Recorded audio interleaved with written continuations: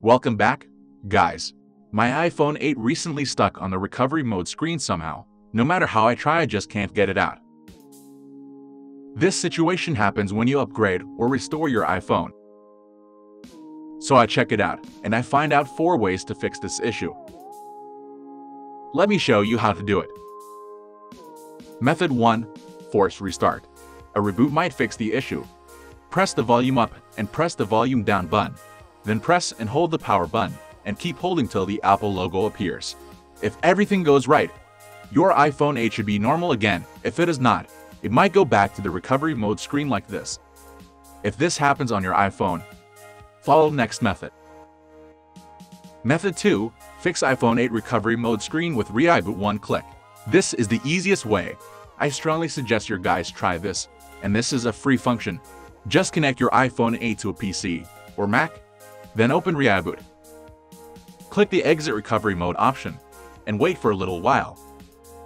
Then you can see my iPhone 8 is out of the recovery mode screen. It is very easy, and it's free. Check the download link in the description and give it a try. If methods 1 and 2 still can't fix the issue, then it might be iOS system went wrong. You can follow methods 3 and 4. Method 3. Repair iPhone 8 recovery mode screen with ReiBoot, no data loss. This is an iOS system repair tool. Check the download link in the description and download ReiBoot. Once installed, connect your iPhone 8 to it. Click the green Start button and click Standard Repair. Here will require a download, just click it. Be patient. Wait for the download complete. It won't be long. Then click Start Standard Repair. The repair process might take some time. Be patient and do not disconnect your iPhone during the process, or it won't work.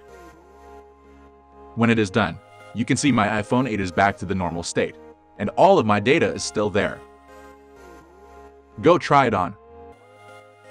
Method 4. Fix iPhone 8 recovery mode screen with iTunes.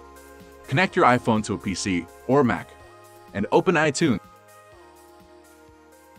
You will see iTunes pop up a window that tells you your iPhone needs to be restored or updated. Click Update here. Normally, it will start to download the firmware. When the firmware is done, it will start updating your iPhone and then the issue will disappear.